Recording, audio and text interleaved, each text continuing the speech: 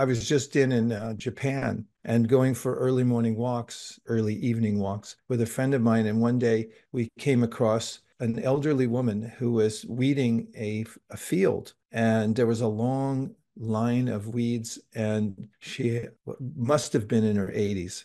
She looked healthy. She was squatting down in a position that uh, nowadays most people would not be able to get into we walked past her and we said good good evening. And then when we came back the other way she was still there an hour later and looked uh, very happy. We were just commenting about how she was close to the earth. She was had something valuable to do and and then she she looked satisfied. You know no, no extra amenities needed. Talking about a way in which sometimes people voluntarily lived in more simple environments. I'm not talking about inconveniencing oneself to the point of distraction or living without the natural amenities, but there are simpler ways to live that can be uh, without as many distractions as we might have now. And this is I'm connecting to the idea of tuning in to a higher dimension.